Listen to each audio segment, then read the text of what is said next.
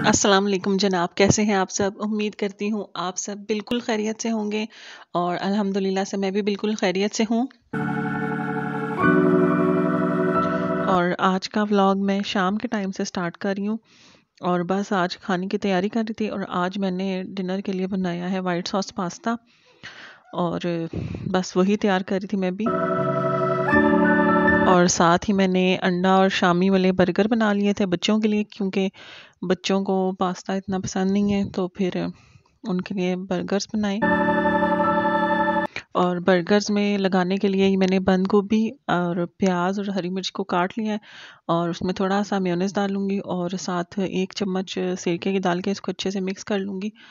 और ना, ये अच्छे से एक सॉस बन जाती है और इसकी वजह से बर्गर का टेस्ट बड़ा ही अच्छा आता है। ये मैंने, हम कमर्शियल से बर्गर खाते थे, वहाँ पर ना उन भाई को बनाते हुए देखा था और उनके बर्गर्स हमें बहुत ही ज़्यादा पसंद थे। तो उसके बाद से फिर मैं ना ये बना के लगाती हूँ बर्गर्स में और इसका टेस्ट वाकई में बड़ा अच्छा आता है। और बस खाने की तैयारी हो रही थी और साथ साथ हस्बैंड का इंतज़ार हो रहा था क्योंकि फ्राइडे को हम इकट्ठे ही खाना खाते हैं। तो इसलिए फिर हम वेट कर रहे थे उनके आने का। और ये शामी कबाब मैंने बनाकर फ्रीज़ किए हुए थे तो मैंने फिर फटाफट से फ्राई कर लिए थे। और बाकी मुझे रिकॉर्ड करना याद नहीं रहा तो बस ये मैंने अंडे वगैरह फ्राई करके जिस तरह सिंपल बर्गर में लगाते हैं और कबाब लगा दिया और वो जो मैंने सॉस सी बनाई थी, वो भी लगा दी। वैसे एक बात है कि हर घर में ना कोई ना कोई हफ़्ते में एक दिन लाजमी होता है जिस दिन कुछ स्पेशल पकता है और फिर सब घर वाले मिल बैठ के खाना खाते हैं और इन्जॉय करते हैं। तो बचपन में भी हमारा ए, एक दिन जो होता था वो फ्राइडे ही होता था। मम्मा अच्छा खाना बनाती थी और हम सब एक दूसरे का साथ मिल बैठ के खाना खाते थे और खूब सारी बातें और इन्जॉय और मीठा भी लाजमी बनना और इस तरह से, और अब शादी के बाद भी जो हमारे घर में है, वो भी फ्राइडे ही है क्योंकि मेरे हस्बैंड को हाफ़ डे होता है। फ्राइडे को तो फिर हम भी इकट्ठे ही खाना खाना और अच्छा कुछ लाजमी बनाना। तो आप लोग भी ज़रूर कमेंट में बताइएगा, आप लोगों घरों में इस तरह होता है और आप लोग कौन सा दिन इस तरह से इंजॉय करते हैं और सेलिब्रेट करते हैं?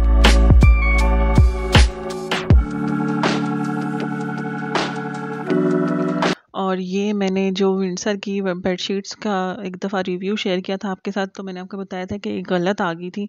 तो मैंने एक्सचेंज का बोला था तो एक्सचेंज करके फिर उन्होंने मुझे, जो डिज़ाइन मैंने पहले ऑर्डर किया था वो उनके पास ख़त्म हो चुका था। तो उन्होंने कहा था कि आप कुछ और कर लें। तो फिर मुझे ये वाला पसंद आया था तो मैंने ये वाला उनसे कहा था, भेज दें, और उन्होंने भिजवा दिया था। और बाकी ये भी बताना था आप लोगों को कि जो मैंने बेडशीट्स दिखाई थी, ती, उस वक़्त तीन दिखाई थी जिसमें से मैंने एक ओपन नहीं की थी, जिसके बदले में मैंने ये वाली मंगवाई है। तो उसमें से जो ब्लू वाली थी, वो नाइन नाइन्टी नाइन की थी और वो बिल्कुल भी अच्छी नहीं निकली। और वो वॉश से पहले ही उसका कलर फेड होने लग गया था और वॉश करने के बाद तो वो बिल्कुल उसका कपड़ा अजीब सा हो गया है जिस, लेकिन ये जो अलेवन नाइन्टी नाइन की थी या थाउज़ेंड नाइन्टी नाइन की थी, मुझे अभी इनकी प्राइस सही तरह से याद नहीं है, लेकिन ये वाली अच्छी हैं। और इनका कपड़ा भी अच्छा है तो क्योंकि मैं एक को यूज़ कर चुकी हूँ और उसका वॉश भी कर लिया और उसके कलर पे भी कोई ख़ास फ़र्क नहीं पड़ा, लेकिन और ना उसका कपड़ा भी अच्छा निकला। और आज मैं अपने ड्रेसिंग का ड्रॉर वगैरह साफ़ कर रही थी क्योंकि बच्चे चीज़ें निकालते हैं इस्तेमाल के लिए और उसके बाद फिर वापस जगह पे नहीं रखते ऐसे ही फेंक देते हैं।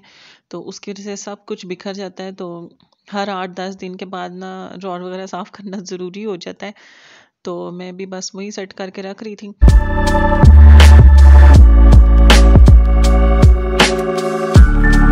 और फ़िलहाल मेरे पास कोई ऑर्गेनाइज़र वगैरह, कोई भी बास्केट वगैरह भी नहीं पड़ी हुई थी। तो मेरे पास ये एक बॉक्स पड़ा हुआ था। तो मैंने इसी को ही यूज़ कर लिया और इसमें एक साइड पे मैंने अपने कैचर्स वगैरह रख दिए थे क्योंकि गर्मियों में ये मुझे बहुत ज़्यादा ज़रूरत पड़ती है, उनके बगैर मेरा गुजारा बिल्कुल भी नहीं है तो मैं फिर ये इकट्ठे ही ले आती हूँ ताकि अगर कोई एक टूट जाए या गुम हो जाए, क्योंकि ऐसी चीज़ें तो गुम भी बहुत ज़्यादा जल्दी होती हैं ना। तो फिर और मेरे पास पड़े हुए हों इस्तेमाल के लिए।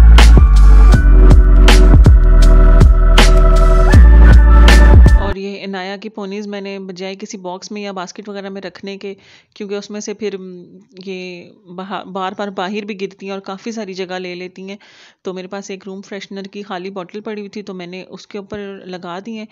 और ये अब से बिल्कुल सिमटी हुई पड़ी रहेंगी और जब यूज़ करनी होगी तो इसमें से एक निकाल ली और जो उतारेंगे वो वापस लगा देंगे।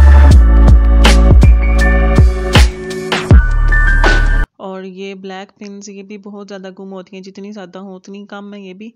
और ये अपनी पैकिंग में थी तो उस वजह से काफ़ी सारी जगह ले रही थी तो फिर मैंने इनको निकाल के ऊपर रबर बैंड से कर लिया अलग अलग जो मुख्तलिफ़ किस्मों की हैं उनको अलग अलग करके तो एक ही बॉटल में डाल के रख ली है। और इसी तरह से यही बाकी सब कुछ चीज़ें जो एक जैसी हैं और वो थोड़ी थोड़ी रह गई हैं, उनको आपस में मिक्स कर लिया ताकि जो एक्स्ट्रा बीच में से चीज़ें हैं उनको निकाल दूँ मैं। और जो बस ज़रूरत की है वो रख लें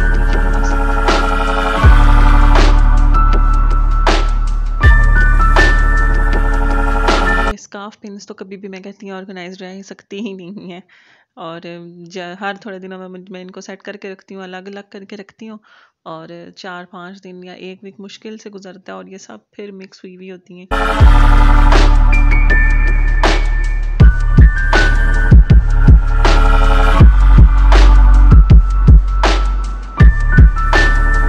जो सारी छोटी छोटी सी बॉटल्स हैं, ये बच्चों का स्लाइम वगैरह आते रहे थे तो उनकी खाली होती थी, मैं फेंकती नहीं थी, इनको रीयूज़ कर लिया।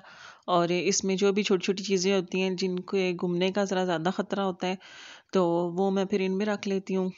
और, एक तीर से दो शिकार हो जाते हैं, चीज़ें भी संभाली जाती हैं, और चीज़ जो हमने प्लास्टिक फेंकना है, वो भी रीयूज़ हो जाता है। और ये भी इसी तरह से चीज़ का बॉक्स था और इसके ऊपर मैंने ये डेकोरेटिव टेप लगा दी और इसमें जो छोटी छोटी मेकअप की चीज़ें हैं, जो आई शेड्स वगैरह होते हैं या कुछ भी इस तरह की, वो रख ली हैं तो वो फिर सारी सिमटी भी हैं और घूमती भी नहीं है और इजीली मिल जाती हैं जब भी ज़रूरत हो। और इसी तरह मेरे पास ये छोटे छोटे से पाउच पड़े हुए थे तो एक में मैंने सारी लिपस्टिक्स वगैरह रख ली हैं, ताकि जब ज़रूरत हो तो फिर सब एक जगह मिल जाए, क्योंकि अक्सर तो मुझे याद ही नहीं रहता कि मेरे पास हैं कौन कौन सी और एक लगा लो तो याद आता है यार वो भी कलर था। तो फिर इसलिए मैंने एक ही जगह रखी हैं, ताकि जब टाइम हो तो फिर मुझे सब मिल जाए और फिर मैं उसमें से डिसाइड कर लूँ। और साथ ही फिर ये एक में, ये अब मैंने कप था मेरे पास तो इसमें सब चीज़ें रख ली हैं, पुराना था, थोड़ा सा टूटा हुआ था तो मैंने इसको डिस्कार्ड नहीं किया और इसको इस तरह से यूज़ में ले आई हूँ। और इसी तरह मेरे पास छोटा सा पाउच है और इसमें मैंने ये मैनी और पेडी टाइप की चीज़ें रखी हुई हैं और सीज़र्स रखे हुए हैं।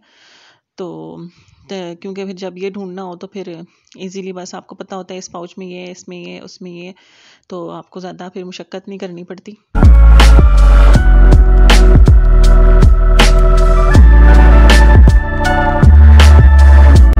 और बस जनाब, अब मैं थक चुकी हूँ तो वीडियो को यहीं पर ख़त्म करते हैं। देख देख के भी थक चुकी हूँ तो इन आपसे नेक्स्ट वीडियो में मुलाकात होगी। तब तक के लिए अपना बहुत सा ख्याल रखिएगा और मुझे भी ढेर सारी दुआओं में याद रखिएगा। अल्लाह हाफिज़।